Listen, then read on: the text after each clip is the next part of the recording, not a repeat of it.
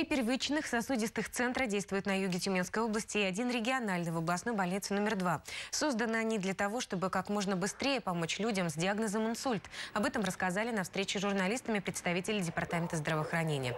Первички находятся в Тобольске, Ишиме и Елуторовске. К ним прикреплены близлежащие районы.